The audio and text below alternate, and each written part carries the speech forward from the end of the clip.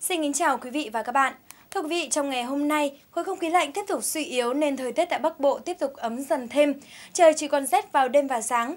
Tuy nhiên, càng về trưa chiều trời hứng nắng và nhiệt độ trên toàn khu vực tăng lên nhanh chóng, với nhiệt độ cao nhất trong ngày tại khu vực Đông Bắc Bộ cũng đã đạt mức 24 đến 25 độ. Riêng khu Tây Bắc nền nhiệt vào trưa nay còn đạt mức sắp xỉ 28 độ. Tiết trời ấm áp và dễ chịu khiến cho sinh hoạt cũng như sức khỏe của người dân trong khu vực thuận lợi hơn. Chỉ lưu ý rằng vào khoảng thời gian về đêm cho đến sáng sớm, trên toàn khu vực trời còn nhiều mây và có sương mù, đặc biệt tại khu vực ven biển và vùng núi cao còn có sương mù khá dày đặc nên quý vị cũng hết sức lưu ý khi tham gia giao thông vào các thời điểm trên. Tại khu khu vực ven biển Trung Bộ, khối không khí lạnh suy yếu cũng khiến cho thời tiết trên toàn khu vực khá tạnh giáo, trưa chiều còn nắng nhiều hơn và nhiệt độ trên toàn khu vực cũng tăng đáng kể, với nhiệt độ cao nhất trên toàn khu vực phổ biến từ 26 đến 31 độ. Tại các tỉnh thành phía Nam, thời tiết chưa có biến động gì nhiều và tiếp tục duy trì trạng thái thời tiết tốt với nhiệt độ luôn duy trì ở mức cao nhất cả nước. Hiện nay, bộ phận không khí lạnh đã báo vẫn đang tiếp tục di chuyển xuống phía Nam, dự báo chỉ trong một vài tiếng đồng hồ nữa thôi. Bộ phận không khí lạnh này sẽ ảnh hưởng đến phía Đông Bắc Bộ, sau đó ảnh hưởng đến phía Tây Bắc Bộ, Bắc và Trung Trung Bộ. Như vậy là sau những ngày ít ỏi của tiết trời ấm áp thì chỉ từ đêm nay cho đến gần sáng ngày mai thôi, thời tiết tại Bắc Bộ lại bắt đầu quay về trạng thái giá rét và có mưa với nhiệt độ thấp nhất trên toàn khu vực phổ biến từ 14 đến 17 độ, có nơi nhiệt độ còn xuống dưới 10 độ. Đến trưa nền nhiệt cũng tăng dần nhưng trời còn rét, với nhiệt độ cao nhất trong ngày cũng không vượt quá 20 độ tại khu vực Đông Bắc. Tại khu Tây Bắc, nền nhiệt ban trưa có cao hơn, phổ biến từ 20 đến 23 độ. Tại các tỉnh thành miền Trung, trong đêm nay cho đến ngày mai, chưa chịu ảnh hưởng của khối không khí lạnh tăng cường nên thời tiết còn khá tốt. Tuy nhiên, chỉ trong chiều tối và ngày mai, không khí lạnh sẽ di chuyển sâu xuống phía Nam và ảnh hưởng đến thời tiết Trung Bộ, khiến cho trời chuyển mưa và rét, có nơi còn xuất hiện lượng mưa vừa đến mưa to. Nền nhiệt cũng giảm mạnh tại các tỉnh phía Bắc với nhiệt độ cao nhất trong ngày cũng chỉ đạt mức 23 độ. Về đêm, nền nhiệt giảm xuống từ 15 đến 18 độ. Tại Tây Nguyên và Nam Bộ, thời tiết cũng chỉ có mưa vài nơi với lượng nhỏ tập trung tại các tỉnh ven biển Nam Bộ.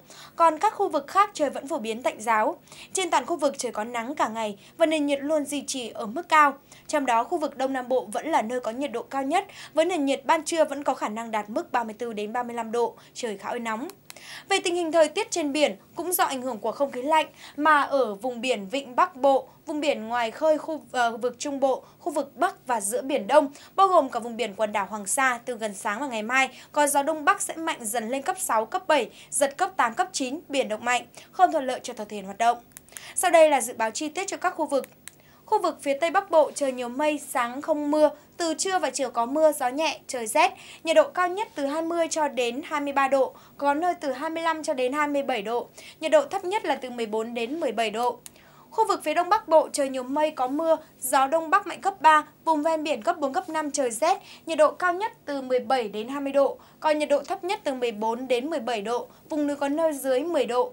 Khu vực Hà Nội và các vùng lân cận trời nhiều mây có mưa, gió đông bắc mạnh cấp 3 trời rét, nhiệt độ cao nhất là từ 17 cho đến 20 độ và nhiệt độ thấp nhất là từ 14 đến 17 độ. Khu vực Bắc Trung Bộ trời nhiều mây có mưa, gió Tây Bắc mạnh cấp 3 trời rét, nhiệt độ cao nhất là từ 20 cho đến 23 độ, còn nhiệt độ thấp nhất là từ 15 đến 18 độ. Khu vực Trung Trung Bộ mây thay đổi, có mưa vài nơi, từ trưa chiều mai trời chuyển nhiều mây, có mưa, có nơi mưa vừa mưa to, gió Đông Bắc mạnh cấp 3, Nhiệt độ cao nhất là từ 26 cho đến 30 độ, còn nhiệt độ thấp nhất là từ 21 đến 24 độ. Khu vực Nam Trung Bộ mây thay đổi, có mưa ở một vài nơi, còn ban ngày thì trời nắng, gió nhẹ. Nhiệt độ cao nhất là từ 29 cho đến 32 độ, còn nhiệt độ thấp nhất từ 23 đến 26 độ. Khu vực Tây Nguyên, mây thay đổi, ngày nắng, đêm không mưa, gió nhẹ. Nhiệt độ cao nhất là từ 29 đến 32 độ, còn nhiệt độ thấp nhất là từ 18 đến 21 độ. Khu vực Đông Nam Bộ mây thay đổi, ngày nắng, đêm không mưa, gió nhẹ. Nhiệt độ cao nhất là từ 32 đến 35 độ, còn nhiệt độ thấp nhất từ 22 đến 25 độ. Khu vực Tây Nam Bộ mây thay đổi, ngày nắng, chiều tối sẽ có mưa ở một vài nơi, nhiệt độ cao nhất từ 30 đến 33 độ, thấp nhất từ 23 đến 26 độ. Khu vực Biển Đông, Quần đảo Hoàng Sa sẽ có mưa rào và rông rải rác, tầm nhìn xa là trên 10 km, giảm xuống 4 đến 10 km trong mưa, gió đông bắc mạnh cấp 6, cấp 7, giật cấp 8, cấp 9 biển động mạnh. Nhiệt độ dao động từ 25 đến 29 độ. Quần đảo Trường Sa có mưa rào và rông rải rác, tầm nhìn xa trên 10 km, giảm xuống từ 4 đến 10 km trong mưa, gió đông bắc mạnh cấp 5, đến chiều tối và đêm tăng lên cấp 6, giật trên cấp 6 biển động. Nhiệt độ phổ biến từ 26 đến 31 độ. Những thông tin vừa rồi cũng đã khép lại bản tin thời tiết cuối ngày hôm nay. Chúc quý vị có một giấc ngủ ngon. Xin kính chào và hẹn gặp lại.